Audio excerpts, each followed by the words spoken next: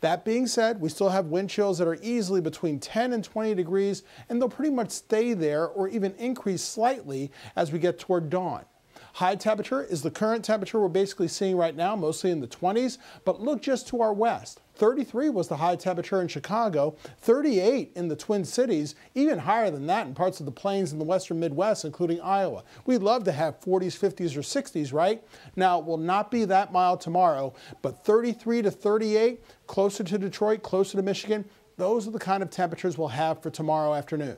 As this cold pocket of air, basically this polar air that's overhead right now, well, it starts to leave us and that Arctic feeling continues to travel to the east. We have a frontal system to our north, though, which will bring in a healthy amount of clouds for tomorrow, especially during the afternoon, and even bring us the chance of snow that you see in these areas of blue right here. Now, the amounts that will fall will be very small, so that's some good news, but still a little slippery by tomorrow evening.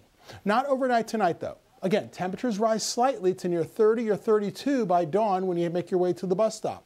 And temperatures keep rising through the middle and then upper 30s in the afternoon under partly to mostly cloudy skies. Snow is expected mainly after tomorrow evening's commute.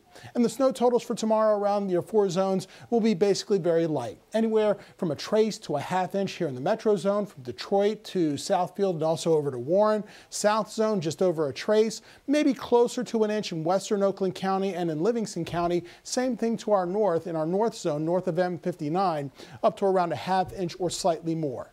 Then we're looking at 34 degrees for a high on your Thursday. A little bit chillier as we go into Friday and Saturday with some sunshine coming back. Then for the end of the MLK weekend, a better chance of snow, but this could change, but hang on for a few flakes Sunday and into Monday.